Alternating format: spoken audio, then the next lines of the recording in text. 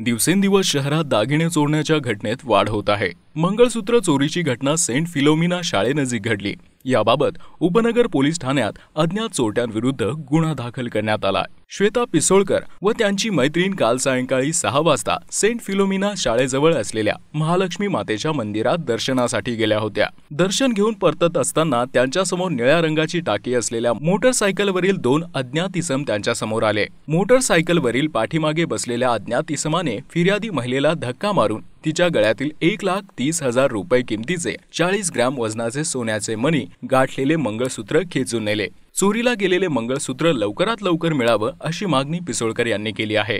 काल नवरात्राचा दिवस आहे घट बसले. माझे उपवास असतात नऊ दिवस.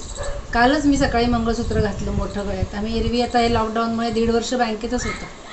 तर काल घातलं आणि देवीला गेले. जाताना गजानन महाराज मंदिरात गेले. तिथून पुढे देवीचं देऊळ आहे. कुठली देवी बरं?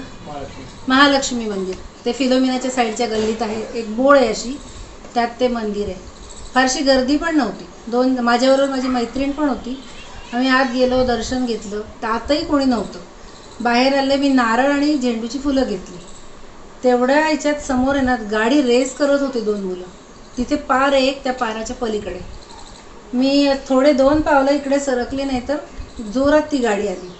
आता नेहमी तिथून काय खूप जोरात गाड्या अशासुद्धा जातात. इथे रात्री पण इतक्या गाड्या जातात ना ती जोरात गाडी आली म्हणून पटकन आपण हे होतो थोडं कॉन्शियस तोपर्यंत त्याने मला इथे मारलं. आणि मी नारळ घेतल्यामुळे माझे हात अडकले नारळात. एकतर माझ्याकडे छत्री पर्स नारळ त्याच्यामुळे मला काही शक्य नव्हतं की मी काही हे करेल. तोपर्यंत मला इथे मारलं आणि जोरात माझं मंगळसूत्र खेचलं. म्हणजे मला कुठेही काही लागलं नाही काही नाही पण मंगळसूत्र जोरात ओढून ही बाईक अशी गेल्यावर मी पळत सुटले तिच्यामागे. पण फार काय मला ते शक्यच नव्हतं नंतर. आणि तिथे जवळ कुठे रिक्षा कुणाची गाडी काहीच नव्हतं. आणि मी पायी गेले होते. एरवी मी गाडीवर असते पण मी काल पायी जाते देवीला म्हणून पायी गेले होते. मग पुढे गेल्यानंतर तो पळून गेला. मग लोक पण आले सगळ्यांनी खूप सहकार्य केलं. तिकडे अजून एक होते ग्रहस्थ त्यांची कोणाची ओळख आहे पोलीसमध्ये त्यांनी पण खूप फोन केले. मी शंभर नंबरला फोन केला. मी बाकी सगळ्यांना फोन केले. पण तसं बाकी काही कोणी आलं नाही फक्त पोलीस मात्र वेळेवर आले.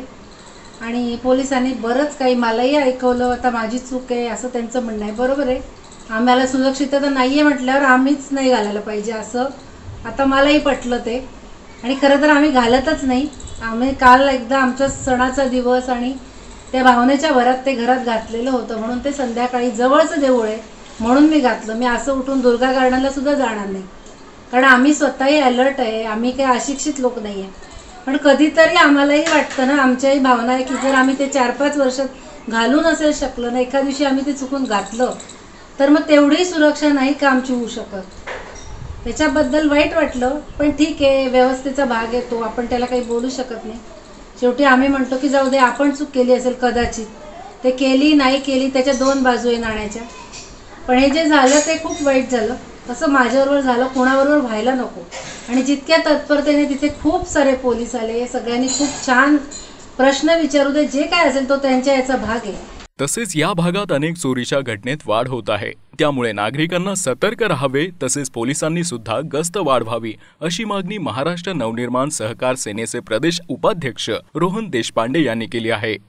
प्रभाग क्रमांक वीस मधील जिजामाता नगर हा एरिया असो किंवा आरंभ कॉलेज हा एरिया असो. ह्या एरियामध्ये काल काही दुर्घटना घडल्या. सगळ्यात महत्त्वाची दुर्घटना म्हणजे आमच्या जे नागरिक आहेत श्वेता पिसोळकर त्यांचं चार तोळ्याचं मंगळसूत्र हे काही अज्ञात लोकांनी पळून नेलेलं आहे. चेन स्नॅचिंगची ही घटना अत्यंत दुर्दैवी आहे. याचं कारण असं की काल नवरात्राचा दिवस होता आणि घटस्थापनेच्या दिवशी महाराष्ट्रामध्ये पहिल्यांदा मंदिरं उघडले. आणि त्याचं दर्शन घेण्यासाठी त्या अगदी घरापासून दोन मिनिटाच्या अंतरावरती मंदिरात गेल्या होत्या. संध्याकाळी सहाची वेळ होती आणि सहाच्या वेळेस दर्शन घेतल्यानंतर बाहेर आलं आणि त्यांचं लगेच मंगळसूत्र पळून नेलं.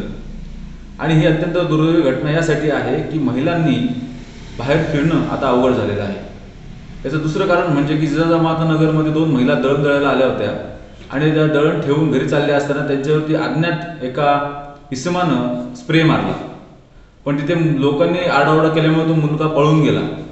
त्या दोन घटना ज्या घडलेल्या आहेत आमच्या प्रभाग क्रमांक वीसमध्ये या अत्यंत दुर्दैवी घटना आहेत. यामुळे संपूर्ण महिलांमध्ये एक भीतीचं वातावरण तयार झालेलं आहे. आमच्या प्रभागामध्ये एज्युकेशन हब म्हणून ओळखला जाणारा आमचा परिसर आहे.